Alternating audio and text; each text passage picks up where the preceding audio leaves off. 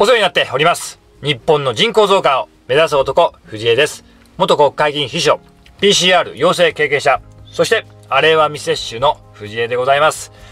昨日ですね、1月8日、千葉県柏市で講演会をさせていただきました。今回はその講演を終えてのですね、感想などをお伝えしたいと思います。最後に一件ですね、僕の住む勝浦市に関する告知もありますので、え最後まで聞いていただけるとありがたいです。えまず申し上げたいのはですね、あの、参加してくださった方に、本当に申し訳ないことをしてしまったと反省をしております。失敗しました。会場がですね、あの、40人が座れる場所だったんですが、それ以上の方に来ていただきまして、え座れなくて、え立ち見になってしまった方や、会場に入れなかった方もいらっしゃって、大変申し訳なく思っております。まずはお詫び申し上げます。千葉県だけではなくてですね、え東京、埼玉、茨城、神奈川、栃木、ね、その他、え遠方からですね、時間をかけて来てくださった方もね、たくさんいらっしゃったのに、えにもかかわらず十分な席が用意できておらず、え申し訳ございませんでした。まあ実はですね、あの、何分初めての企画でしたので、どれくらいの方が参加していただけるのかわからなかったので、えーあえてですね、あえて僕のチャンネルで、えー告知は1回だけ行いました。で、えー日本の明日のために千葉という有志でね、まあサークルのようなあ形のね、集まりで、え運営しておりますので、そういう講演会なので、えみんなそれぞれね、え仕事が普段ありますので、え極力その運営の負担を減らそうと思ってですね、え事前申し込みなしで、えやったんですよね。えー申し込みなしで。えーまた申し込み方式にするとですね、まあいろいろね、手間にかかるというありますけれども、あと、参加者の方もですね、えー手続きなしで来れるとですね、あと、名前もさらさないで、え参加できるとなるとですね、もう皆さんも気軽に参加してもらえるんじゃないかなと思って、え申し込みなしの、え参加費無料ということでやってみました。えーでもね、ちょっと見込みが甘かったですね。失礼いたしました。えーなのでですね、まあ、今後やるときはね、これを踏まえて、えー申し込み制にしたり、会場のキャパ、え収容人数をね、増やしていかなければいけないなと感じているところでございます。えお詫びやね、ちょっと言い訳がね、長くなりましたけれども、あの、講演会でどんな話をしたのかと言いますと、YouTube では言えない話をしました。えーなんでね、今ね、もう、まあ、日本ですかね。まあ、世界もそうかもしれませんが、日本、こんなことになってるのか。なんで皆さんが今、明らかにおかしいと思っているのに、それが少数派の意見でしかなくて、多くの政治家、国民にね、届かないのか。それを国会議員秘書として、政治の現場に14年いて、ね、政治家やね、有権者と接してきた立場として、その謎をですね、えー解き明かす、うん、ようなですね、とても YouTube では言えないね、はい、濃い話を、元国会議員秘書のね、裏話をさせていただきました。あと、まあ、講演が半分でね、えー、後半はですね、えー後半というかね、もう半分以上、質疑応答というかね、意見交換の場を設けさせていただきまして、えーそこでですね、僕ね、すごく参加者の皆さんのね、プラスのエネルギーを感じましたよ。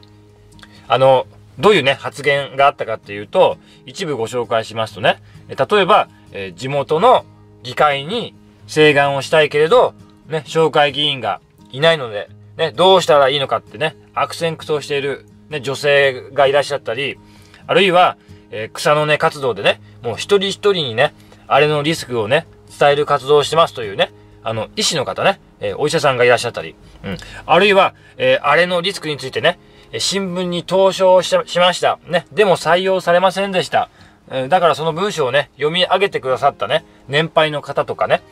あと、厚生労働省のね、資料をね、細かい細かいところまで読み込んで、ね、矛盾点があるんじゃないかということでね、そういう指摘をされる方、ね、皆さんそれぞれの立場でね、えー自分に何かできないかと、ね、模索して行動しているのが伝わってきてね、もう皆さんの思いに僕は感動しました。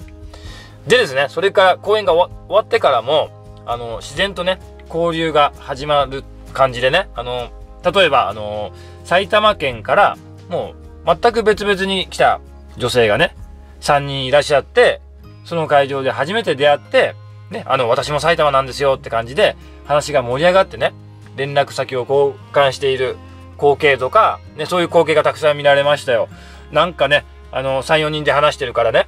あ、今日はね、ご一緒に参加してくださったんですかってね、聞いたら、いや、初対面なんですよ、みたいな。ね、初対面同士なんですけど、すぐに意気投合できるというね。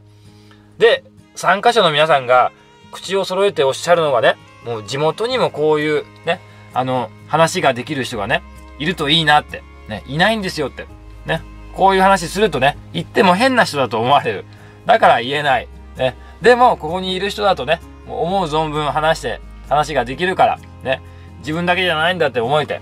ね、気持ちが楽になれると。いうことで、あの、反省点ね、いろいろありましたけどね、本当にやってよかったな、と思っております。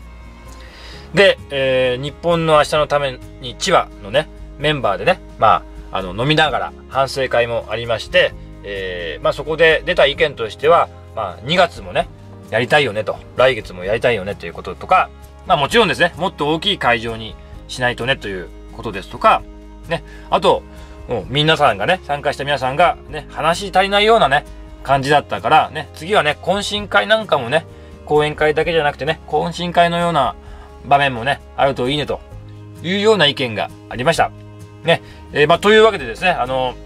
僕が講演する形ではないかとは思うんですけどもね、まあ、2月も何かの形でですね、えー、皆さんが集まれるようなですね、えー、場面を作りたいと思っておりますので、えー、決まり次第、